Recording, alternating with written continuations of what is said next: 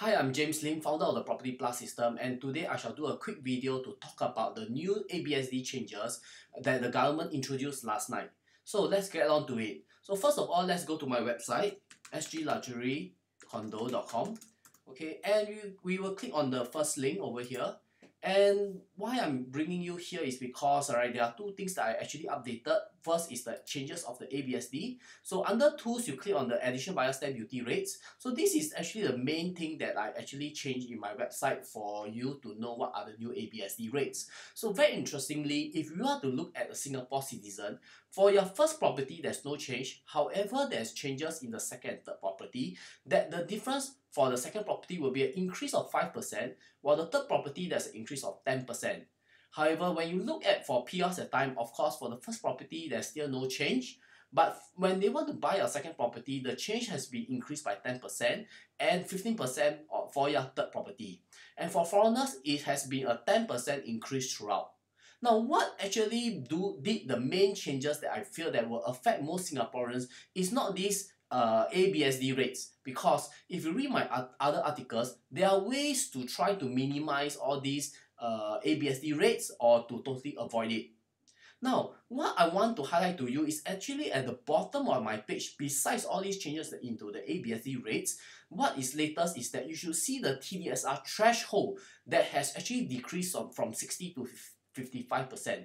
This means that people, regardless whether you are first timer or second timer, you, when you want to borrow money from the bank that time, the total amount of loan you can take has decreased. So let me give you an example. Now, I, I, you can click on my this link under tools, which is the affordability calculator.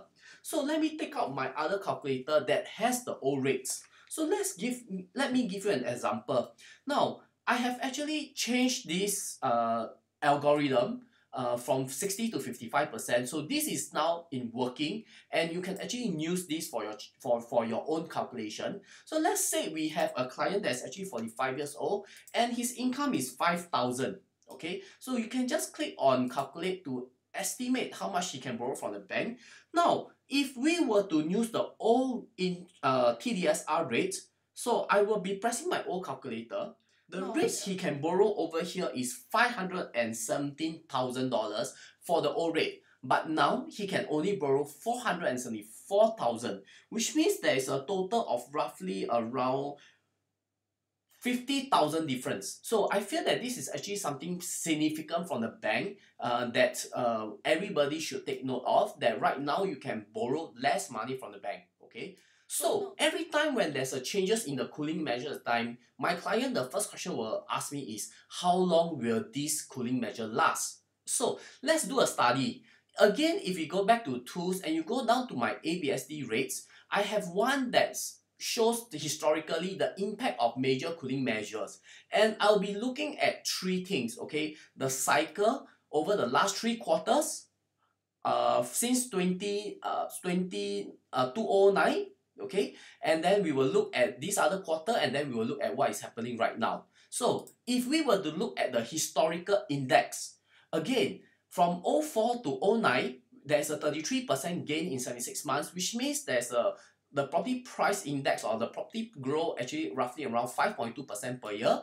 From 09 to 17 the gain will be roughly 50% in 96 months which is 6.25 per year if we look at 2017 to 2020, just before the COVID, it was 11% in 33 months, which is 3.63% per year.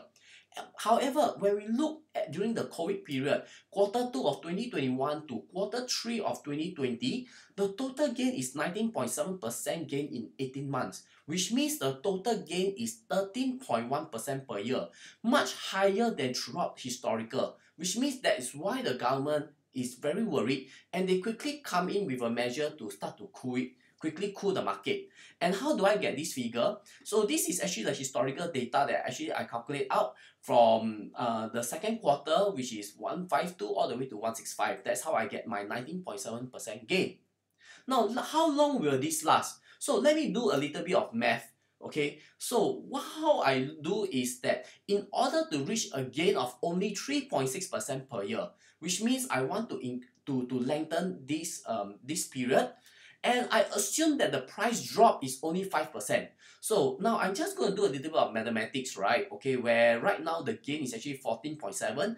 If I reduce by 5%, and you know, when I do out the math that time, it will last roughly around 14 months. So this is my calculation that I believe that if we were to look in look into these parameters, if the property price within these 14 months were to be dropped by 5%, I believe it will reach the government target and the government will start to remove all these cooling measures.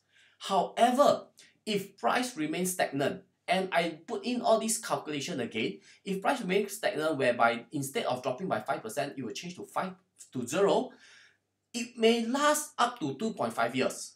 So it is so I believe that this cooling measure will rough, last roughly from roughly one year all the way to two and a half years depending on how much the market will cool okay? But lastly more importantly is that this TDSR from 60 to 55 percent I believe it is here to stay. The reason is also because of this COVID. The government is a bit more afraid want people to borrow less money or to leverage less from the bank okay so I believe that this thing will be here to stay so this is actually uh, my short uh, intake or my short output or input into what is the latest of the cooling measure. I hope you enjoy this video. If you have any questions, feel free to leave in the comment below. I will put all these links in the, in the comment in the section below where you can actually look into it. If you like this video, give a smash the like button. Thank you, so long and bye.